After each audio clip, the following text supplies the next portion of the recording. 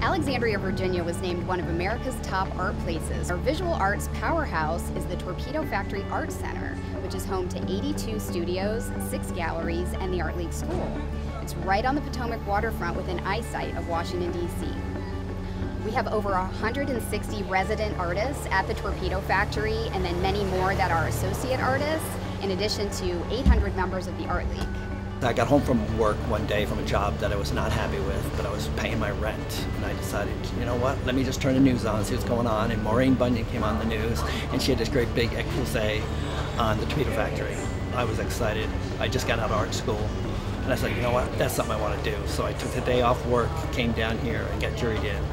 And I've been here since 1978. I came here about 28 years ago.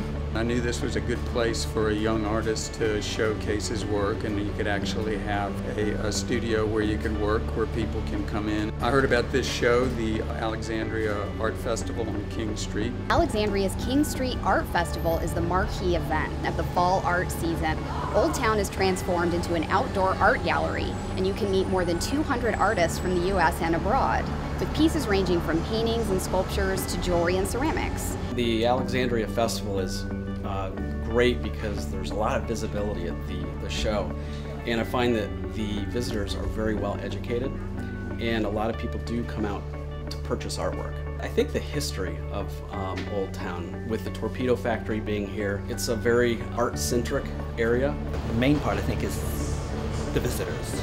You know, they come in, they comment on your work, they almost influence your ideas a lot of times, and they give you enormous feedback, which is really fun. I enjoy the interaction with uh, people.